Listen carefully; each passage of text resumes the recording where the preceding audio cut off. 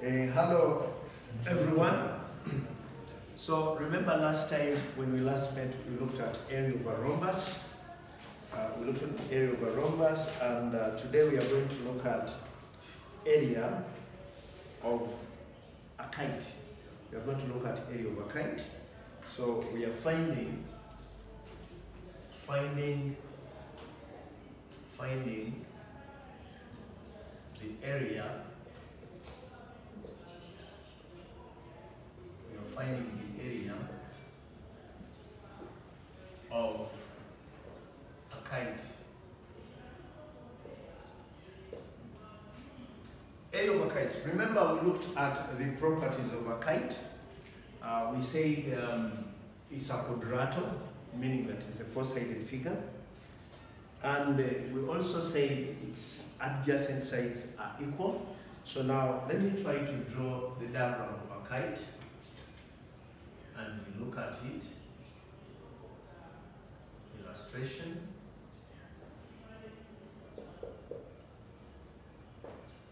So this is how a kite looks like. This is how a kite looks like.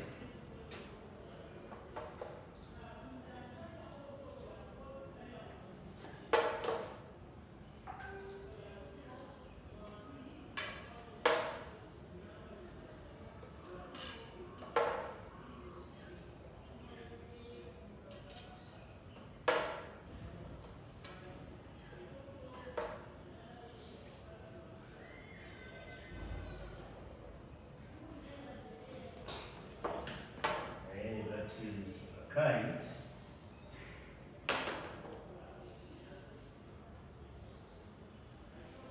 Okay, that is a kite. Uh, opposite sides of a kite are equal, to adjacent sides of a kite are equal. So this side is equal to this side in length, and this side is also equal to this side. And the diagonals as the diagonals meet, they bisect each other at 90 degrees. They form four right angled triangles. Now, these are the diagonals. So this is um, uh, this is uh, diagonal one. I'll call this diagonal one. Diagonal one and which I can call D1. Then this is the second diagonal. This is diagonal 2. Diagonal 2. And that is diagonal 2, which I'll call D2. So it has got two diagonals. Now, and this is what we are going to do. Area, area is area of a rhombus, area of a kite. Area can be can be formed. Area of a kite can be formed using using three methods. Area of a kite can be formed using three methods using three methods, namely uh, using three methods, namely one, using diagonals. You can find the area using diagonals. Uh, this is method one, using diagonals. Using diagonals we can use diagonals to find the area of a kite.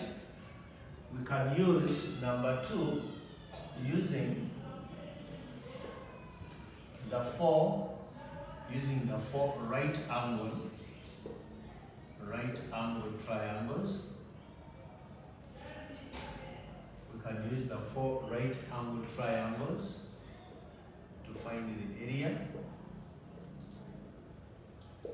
Three, we can also use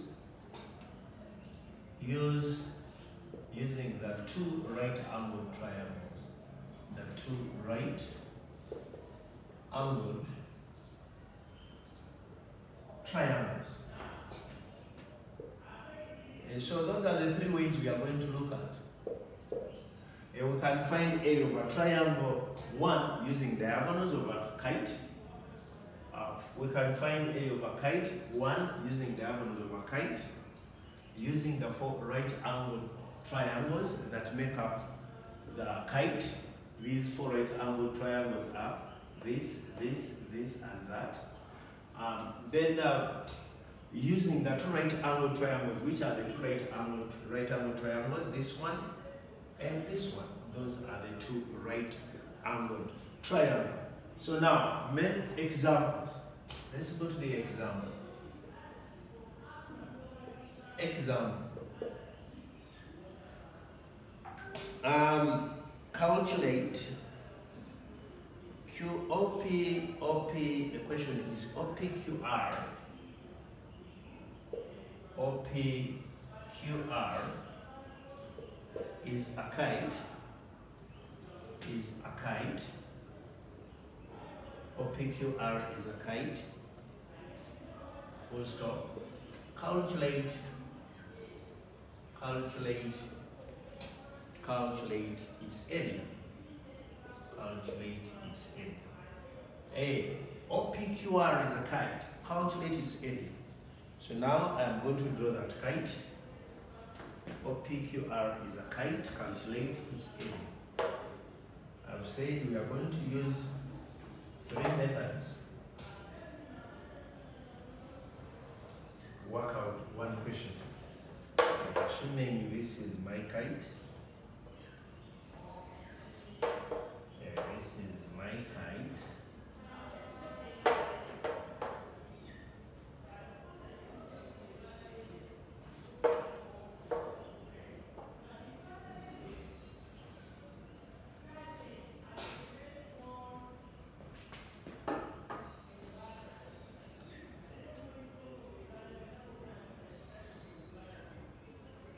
So this is my kite.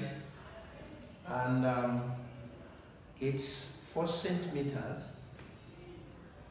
four centimeters. And here it's eight centimeters. This is eight centimeters.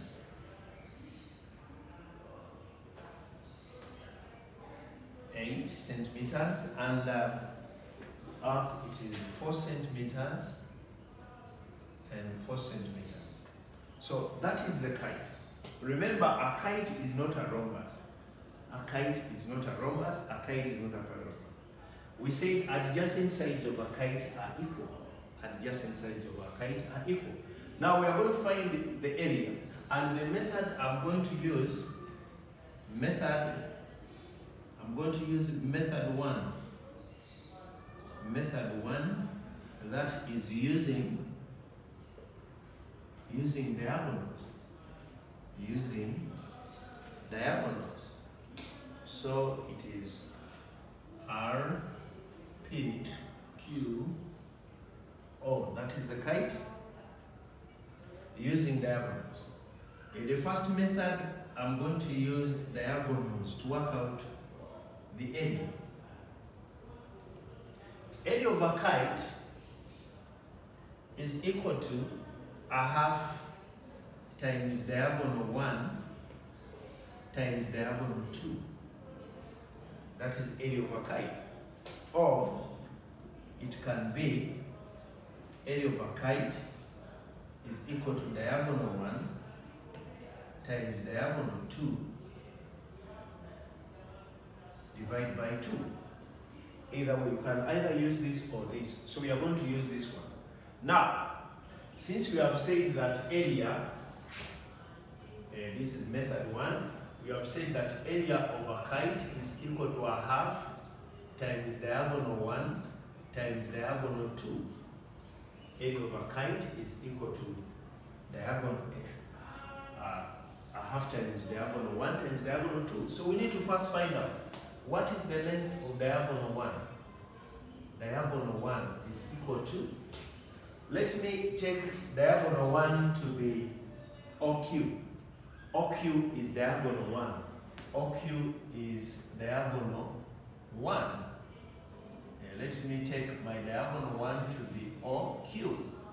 Uh, now I find the length of the diagonal 1. They have said from here up to here it's 4 centimeters. And from here up to here is 8 centimeters. That means to get the length of diagonal 1, which is OQ, we are going to add 4 centimeters to 8 centimeters. So it is 4 centimeters plus 8 centimeters. That means the length of diagonal 1 is 12 centimeters. That is the length of diagonal 1. So we go to diagonal 2. Uh, that is the second diagonal. The second diagonal is PR. Is PR. PR is the second diagonal. How do we get the length of diagonal PR? So from here up to the center is 4 centimeters, from here up to here is 4 centimeters. So that means we are supposed to add 4 centimeters plus 4 centimeters, which gives us 8 centimeters. That means the length of diagonal 1 is 8 centimeters. I think we must have understood. So now we go and substitute into the formula. So which is going to be a half times the length of diagonal 1, which is 12 centimeters, times the length of diagonal 2, which is 8 centimeters. So we can divide by 2, 1 by 2, 6 centimeters. So we remain with 6 centimeters times 8 centimeters. 6 times 8, that is 48. Cm times cm, that is cm squared. So that is the area uh, using diagonals. Now, using the for method 2, I'm going to use method 2. Method 2, method 2 is using using the four right angle triangles. Right using the four right angled triangles. And now we are using the four right angled triangles to find the area. Now you realize area is going to be, uh, we, we are going to extract one. This one and this one have got the same height and the same base. That means one of the triangles we have is that one, it is 4 centimeters by 4 centimeters. This is what I'm extracting, this one. 4 centimeters, 4 centimeters. You realize that these four triangles have not got the same area, but the two have got the same area. These two will, be, will have the same area, and these two will have the same area. Why? Because they share the same base and the same height. This one's base is 4, its height is 4. This one is base is 4, its height is 8. Even this one has got the same height and the same base with this one. So now, the other one, the other one is this. Sorry. The second triangle, if I make my extraction,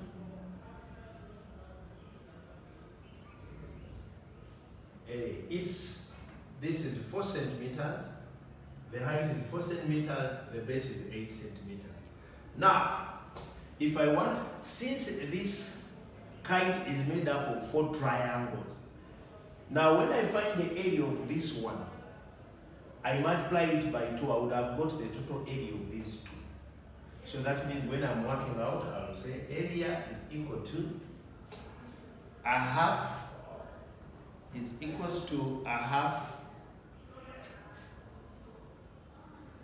times base times the height is equals to a half times base times the height.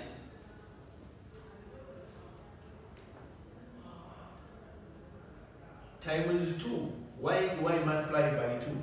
Because they are two right angle triangles. I'm getting the area of one and multiply by 2 to get the total area of these two. Plus, I also get the area of these other ones, which is going to be a half times base times the height. But I multiply the area by 2y To get the total area of these two times 2, sorry. I think we are together. Now, uh, which is going to be, I substitute, which is going to be a half, times the base, which is 4 centimeters, times the height, which is 4 centimeters, times 2, because the triangles are 2, okay? Plus a half times the base, which is 8 centimeters, times the height, which is 4 centimeters, times 2, because the triangles are 2 of this kind. The triangles of that kind are 2. So now, I'll, these two, I'll cancel it with that one. So I remain with 4 centimeters times 4 centimeters. Plus uh, these two, I'll cancel it with these two. I remain with 8 centimeters plus 4 centimeters. So 4 times 4, that is 16. cm times cm, that is cm squared, plus. So I've got the area of the two triangles, this one, these two. Their total area is 16 centimeters squared. Plus the area of these other two, this one and this one. Okay? That will be 8. Please, this is a multiplication sign. Uh, that is 8 times 4. 8 times 4, I am going to get 32. cm times cm, I get cm squared. So when I add, total area will be 48 centimeters squared. You realize that the area is the same as in as in method one. So that is our second method, using the four right angle triangles to find the area of a kite. Now, we are going to use our last method. We are going to use our last method, that is using, using the two right angle triangles that make up the kite. Now we are going to use the two right angle triangles and that is method 2. Method 3. So method 3, method 3 that is using using a, some correction here using using the two isosceles. This is isosceles using the two isosceles triangles. Yes, there are two isosceles triangles using two isosceles. Isosceles triangles. That is our third method. So we are now using two isosceles triangles to find the area of this kite. Now, the first one is here. This one. It is O, O, RP. The height is 4 centimeters. And the base, remember here it's 4, 4 centimeters and 4 centimeters here. So when you add the two, hey, when you add the two, you get 8 centimeters. Because remember, since from here up to here, from here up to the center 4, from here up to here it's 4. So 4 plus 4, we get 8 centimeter. Now the second one is the other isosceles triangle uh, which is um, PR. It is PR, the base is PR, which is from here up to here. The height is 8 centimeters. So remember this is 4 centimeters, this is 4 centimeters. Now their base is 4 plus 4, which is 8 centimeters. That means they all have the same base but have got different heights. The height of this triangle is 4. The height of this triangle is 8. I think we are together. Now we are going to find the area. Remember, joining the two together, you get back the kite. Meaning that when we get the area of this one plus the area of this one, we get where and we add to get the total area, we have got the total area of the kite. So area is equals to a half times the base times the height. This time we are not multiplying by 2 because we have two triangles which have got different base, different heights. So they can't have the same area. Plus a half times the base times the height. So we substitute, which is a half times the base, which is 8 centimeters, times the height, which is 4 centimeters, plus a half times the base, which is 8 centimeters, times the height, which is also 8 centimeters. So by 2, 1 by 2, 4 centimeters. So this is 4 centimeters times 4 centimeters plus uh, by 2, 1 by 2, 4 centimeters. That is 4 centimeters times 8 centimeters. So we end up getting area as 4 times 4, that is 16. cm times cm, that is cm squared. Plus 4 times 8, that is 32. cm times cm, that is cm squared. Ending up with area as 48 centimeter squared. So the area of the kite is 48 centimeters squared. So when you look at all, all the methods we have used, we are getting the same answer. Method one, we used using diagonals to work out the area of the kite. Method two, we used the four right angle triangles that form a kite. There are four right angle triangles, one, two, three, four.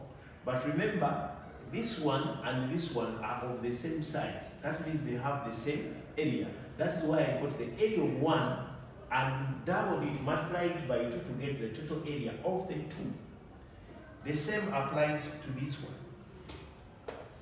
This one and this one will have the same area because they have the same base and the same height.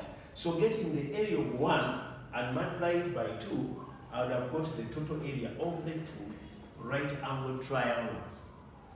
So I worked out and ended up getting the same answer.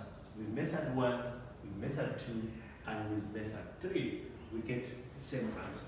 Now, what I'm going to do is now to give you at least two questions that you will have to answer during your free time, and that will be the activity. So now, the activity you will do is here, we'll have two questions that you will have to answer during your free time.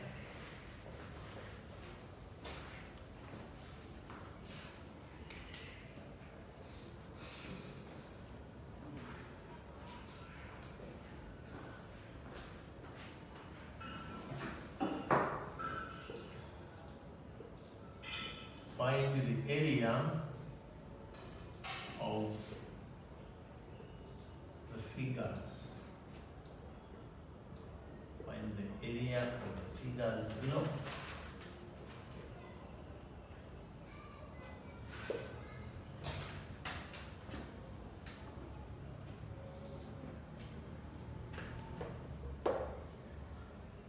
So these are the kites whose area you have to find.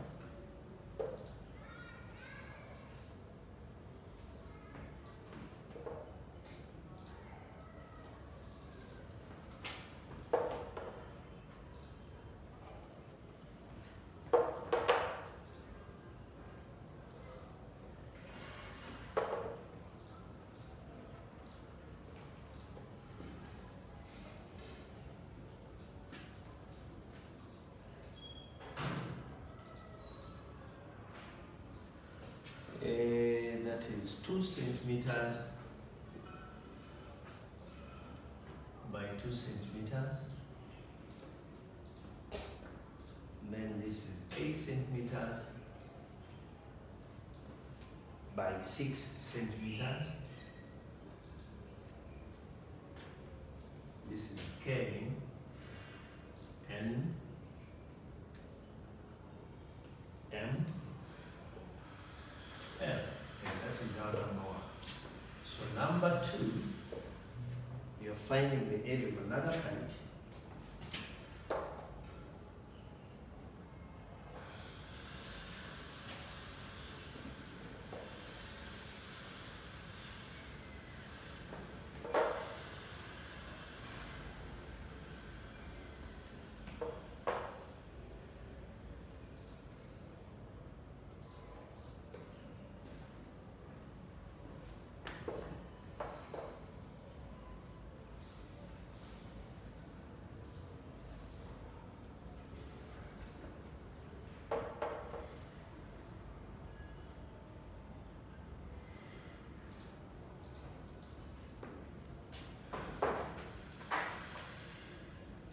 Okay, that is another kite. It is R U S T. You're also finding the area of this kite. Uh, its diagonal, the first diagonal is 5 centimeters by 8 centimeters. And the second diagonal is 3.5 uh, 3.5 centimeters by 3.5 centimeters.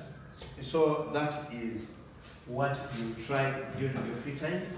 Uh, thank you for watching this lesson. That is the end of our lesson. I wish you well.